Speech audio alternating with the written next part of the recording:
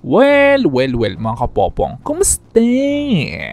Well, since tatlong araw na lamang ay lalaban na itong si Senator Manny dito kay Ugas, ay bibigyan ko muna kayo ng update number 2 tungkol dito sa mainit na nangyayari kina Janril Casimiro at dito sa Japanese boxing superstar na si Naoya Inoue. At mamaya ay ipapaalam ko rin sa inyo ang tunay na dahilan sa kung bakit nga ba hindi natuloy ang laban nitong dalawa na ito. Well, sobrang dami ko talagang ipapaliwanag sa video na ito so huwag na natin patagalin pa at simulan na natin. Well, siyempre mas maganda siguro kung pag-usapan muna natin itong patungkol dito sa usaping pera ni Inoue. Well, kung pagbabasihan kasi natin ang lahat ng kinita nito up to the present, kasama na yung kanyang garantiyang pera na nakukuha sa kanyang laban manalo o matalo at kasama na rin yung kanyang kinita sa pay-per-view o doon sa PPV ay dito ay nakompute at nakuha ko ang estimate na halos 5 million US dollars. Yes mga kapopong, 5 million US dollars ang estimated na net worth o yaman nitong ni Inoue o sa pera natin eh halos 250 million pesos. Nasa pera na ito ni Inoue ay kayang-kaya niya nang makabili ng halos 8 Lamborghini. Pero ang tanong, eh bakit nga ba biglang lumobo o lumaki ngayon ang kinikita ni Inoue? Na kung dati ay halos 25,000 US dollars ang garantiyang perang nakukuha nito, eh bakit ngayon naman ay nag-minimum na ito ng halos 500,000 US dollars hanggang 1.5 million US dollars kada laban?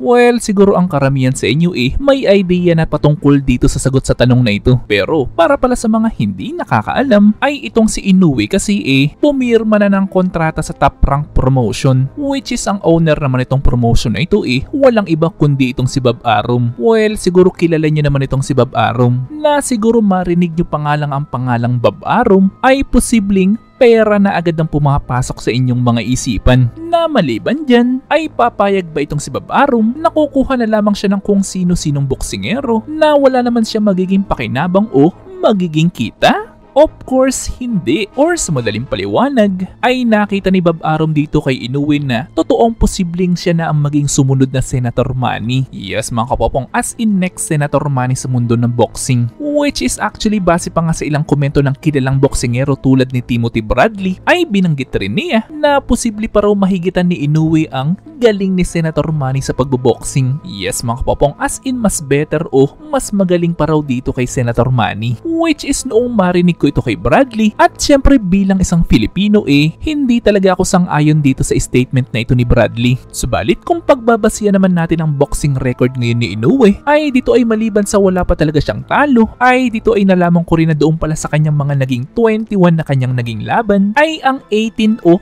18 sa mga laban na ito eh lahat mga na-knockout niya. Or sa madaling paliwanag ay 84% ng mga naging laban ni Inoue ay lahat ng mga ito ay napanalunan niya into knockout. Pero kilala niyo ba ang boksingero na kahit itong si Inoue eh aminadong pinakamahirap na kanyang naging laban? Well, ito na nga ay walang iba kundi dito kay Nonito Donaire. Pero ang maganda naman dito sa laban na ito ay kahit natalo itong si Nonito ay ipinakita pa rin itong dalawang boksingero na ito ang tunay na kahulugan ng sports na boxing which is not only fight and fight o laban lamang ng laban but also to develop character and friendship which is nangyari nga dito kay na Inoue at dito kay Donaire. Pero ang malaking tanong naman dito sa video na ito ay ano nga ba ang tunay na dahilan sa kung bakit hindi natuloy ang laban ni Casimiro at Inoue last year? Well actually doon kasi sa ginawa kong video noong nakaraang araw ay marami akong mga comments na nabasa na nagsasabing Hmm, naku, Teacher Popong. Posibleng naduwag lamang itong si Inoue dito kay Casimiro sa kung bakit bigla itong nag-back out last year. Well, kung ganyan na rin ang iyong iniisip eh, mukhang kailangan mo munang marinig itong aking mga ipapaliwanag. Actually, kung pagbabasihan kasi natin yung ginawa kong research, ay dito ay na-discover ko na maliban sa totoong sobrang higpit ng iba't ibang bansa noong first and second quarter noong 2020, dahil nga sa pinagdadaanan ng mundo ngayon, so balit ang nakita ko kasing dahilan sa kung bakit hindi natuloy yung kanilang laban eh, dahil posibleng maliit ang kitain nitong laban na ito. Well, medyo may point ba? Na kung natuloy kasi itong laban na ito eh, posibleng masayang lamang itong laban na ito para doon sa mga boxing management na nagpapatakbo nitong mga laban na ito. Nasabi ko nga kanina na kilala nyo naman itong si Bob Arum na pagdating sa usaping pera sa boxing ay siya na yata ang superstar sa larangan na ito. Pero don't worry mga kapapang dahil itong laban ni Casimiro laban dito kay Inoue ay 100% talaga na posible na posible talagang mangyari. At yung ginagawang pangtatrash talk ni Casimiro dito kay Inoue at yung mga paratang din ni Inoue dito kay Casimiro ay posibleng pagpapainit lamang ito upang mas maraming mga tao ang mag-abang dito sa laban na ito. Well, bigla ko tuloy naalala yung haba ng negosasyon ng laban ni Senator Manny kay Floyd Mayweather Jr. noon. Which is inabot talaga ng maraming taon bago natuloy yung kanilang deal sa kanilang laban. Na kung saan pa nga eh, inakusahan pa ni Mayweather itong si Senator Manny na gumagamit raw ng klase ng gamot na pangpalakas. Pero ang resulta naman itong mahabang negotiation at kung ano-anong allegations at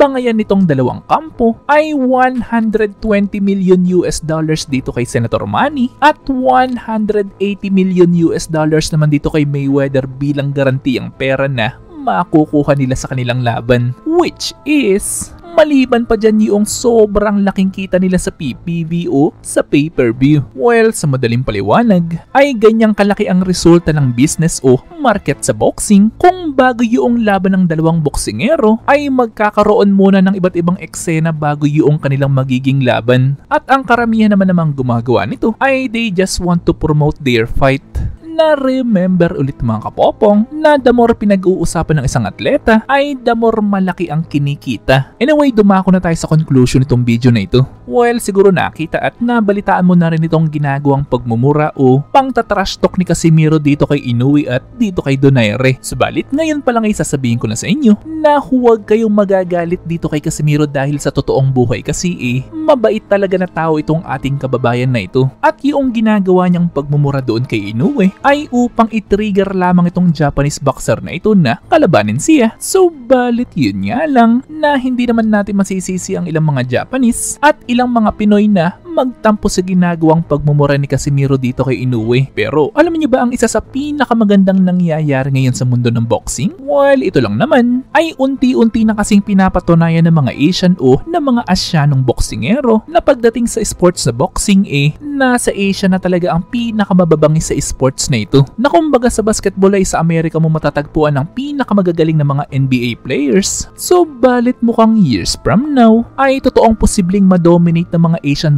boxer ang sports na boxing dahil sa pagsikat ng Japanese boxer na si Inoue at nitong ating proudly kababayan at idol na si Janriel Casimiro. Well kay mga kapopong, ano masasabi nyo dito sa ating mga Asyanong boksingero na ito? Well, syempre gusto ko malaman yan so i-comment lang yan sa baba ito ay aking babasahin ng personal at pupusuan. At syempre kung may nalaman o natutunan ka sa video ito ay mag-subscribe ka naman. At nandito na yung inyong mga shoutouts. At kayo rin mga kapopong kung gusto nyo rin magpa-shoutout o mag-request ng video ay i-comment lang yan sa baba. At muli yung teacher Popong na nagsasabing, Te amo!